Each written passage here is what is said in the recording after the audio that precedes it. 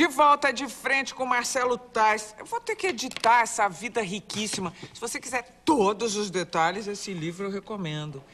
É rindo que se aprende, Marcelo Tais, uma entrevista dada ao Gilberto de Mensagem. Gabi, eu... é legal dizer esse livro, toda a renda desse livro ah, é, também. vai para Casa do Zezinho, que é uma ONG do Jardim Ângela aqui de São Paulo. Estou super feliz de e fazer e... um livro e oferecer esse livro também. E vem com o DVD com... Com o DVD com a íntegra da entrevista. Da entrevista, maravilha. Agora vem cá.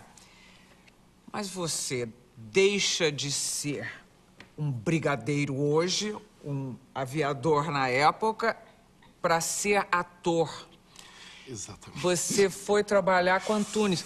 Mas a engenharia vem antes do é, Antunes é, ou depois? vem antes. A engenharia vem antes. É. Eu vim para São Paulo e só tinha três opções naquela época, né? Engenharia, direito e medicina, né? E aí, enfim, eu sempre gostei de tecnologia, fui para engenharia, mas lá eu já percebi que não, não tinha nada a ver. Eu Por que tava... não? Porque eh, engenharia é uma coisa que eu tenho o maior carinho também por engenheiros. Carinho não, você deve ter é. uh, manias, hábitos. Você é, fez engenharia? não, eu sou, eu sou politécnico, eu sou formado numa das melhores universidades. Exatamente. Você deve ter uh, visões de engenheiro. Tenho, eu tenho visões. Uh, engenheiros têm visões, Gabi.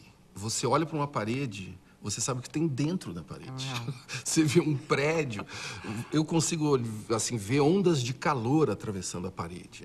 Engenheiro é um bicho muito louco, você entendeu? Ele tem que calcular coisas, como que uma ponte fica de pé, um túnel, é um ver o que tem debaixo da terra. Eu gosto disso, de entender como as coisas funcionam. Sempre tive isso.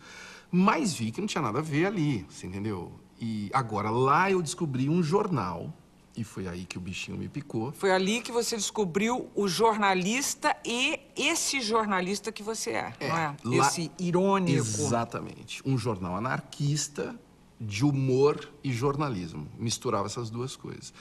Eu fiz o impossível para conquistar os caras do jornalzinho, que não. Imagina, eu era do primeiro ano, bicho. No, no primeiro ano não me deixaram publicar nada. No segundo eu consegui publicar. E no terceiro eu virei editor.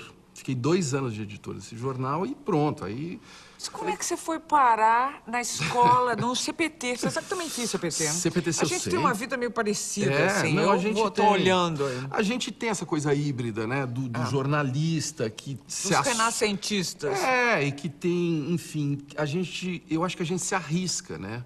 O, o, jornalista tem uma coisa, tem uma vida muito dura, né? O jornalista, nós jornalistas podemos falar isso, mas o jornalista tem uma mania de achar que ele é perfeito, que ele não tem falha, que a vida dele tem que ser muito séria ou muito, sei lá, sem riscos. Ele... E eu acredito que a gente se arrisca mais. E, e, aí você consegue conversar com o público de um outro jeito. E acredito que agora a gente vive uma realidade tão confusa e complicada que precisa desse jornalismo, de você olhar a realidade de várias formas, entendeu? Não tem só uma forma de olhar a realidade, empacotar essa realidade. E as pessoas também querem contar história, né? Com a internet todo mundo quer comentar o que você faz e tal. Você sabe que, enquanto você está falando, e você ainda não respondeu do CPT, mas eu me lembrei de uma entrevistada que eu uh, peguei para falar, isso, um entrevistado para falar sobre uh, um, um, livro que ele estava lançando, não vou lembrar quem é agora, que horror. M mil perdões, mas é que são tantas pessoas que passam que passaram, inclusive, no último ano, mas foi falar sobre a verdade. Hum. E ele me disse que a verdade não existe. Não existe. Não existe. Por quê? É. Porque, primeiro, nós vemos de maneira diferente. Por é. mais que seja o mesmo fato, Exatamente. você enxerga a sua maneira é. e eu jamais vou saber como é, é a sua é. completamente. Aí eu ainda falei assim, mas e uma foto? Aí a pessoa é. virou e disse assim... Não, porque você não sabe o que aconteceu um segundo antes e um não. segundo depois. Não, e o ponto de vista. Ponto a de foto vista. é só um ponto de vista. É, isso é. De uma pessoa. Ela escolheu como é que ela ia olhar para aquilo. E quem olhou assim? Ou quem olhou assim? É, é isso aí. Não existe. A, a verdade no jornalismo absolutamente não existe. O que existe é uma tentativa evidentemente, de ver qual é a verdade. E existe um bom senso. Um bom senso. Existe uma. Entendeu? A gente está sempre em processo. Verdade, eu acho que é um papo mais para espiritualidade. É uma busca de cada um, você entendeu? Cada um de nós tem a sua espiritualidade e uma busca do que, que nós estamos fazendo aqui. Hum, Passa muito rápido essa vida, você entendeu? Afinal, que, que é isso? Você entendeu? Não tem sentido mesmo, é isso Eu não? acho que aí sim a gente pode falar de verdade, você entendeu? No teatro, nas artes. Bom, no teatro você foi parar porque você se apaixonou pelo primeiro espetáculo que você viu aqui em São foi, Paulo. Foi isso, foi sensacional. Eu, eu tava, você que é do interior deve saber o impacto que significa isso. É, no interior, eu não via no teatro, não tinha teatro, entendeu? Aí eu tô aqui em São Paulo e fui ver Marilena Ansaldi, uma bailarina Você já começou no- extraordinária, numa- entendeu? Fazendo escuta Zé do Reich. que- e duas mulheres lindas, nuas, falando tudo que eu sempre achei da vida, você entendeu? Eu fiquei, eu falei, gente, eu fiquei vendo aquelas mulheres durante uma hora e meia. Eu saí do teatro, eu falei, cara, como é que eu vou continuar minha vida depois disso? Não posso fazer qualquer porcaria, você entendeu?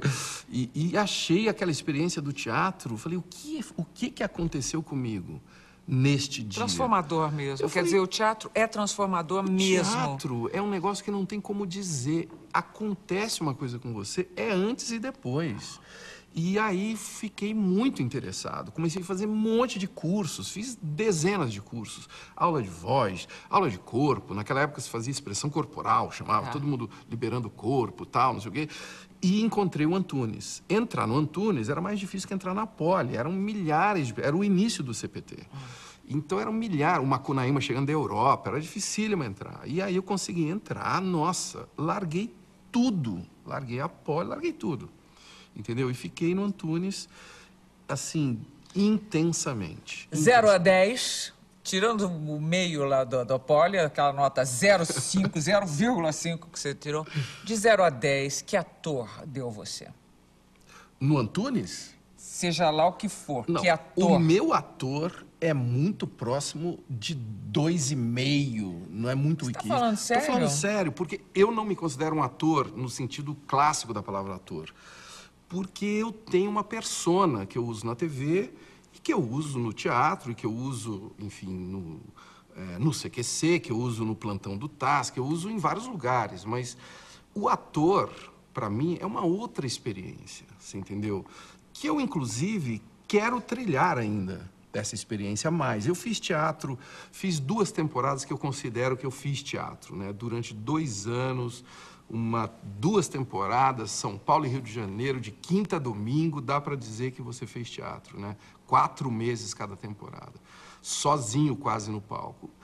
E foi fantástico para perceber que o teatro, minha querida Gabi, a gente ama, eu amo televisão. Mas o teatro é outra história. Não, o teatro é a forma de comunicação mais eficiente que, aliás, é a segunda forma de comunicação mais eficiente que existe. Sendo a primeira.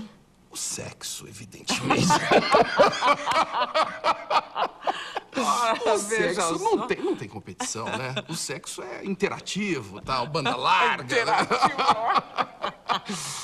É isso. Não é. Em O sexo- linguagem atual, O sexo, você clica aqui, reage ali e tal. É, o é uma- sexo é a internet é a da- verdadeira internet. desde sempre. Graças a Deus. Peraí. Nós estamos terminando o segundo bloco de frente com Marcelo Tais. Voltamos depois de um rápido intervalo. Até já.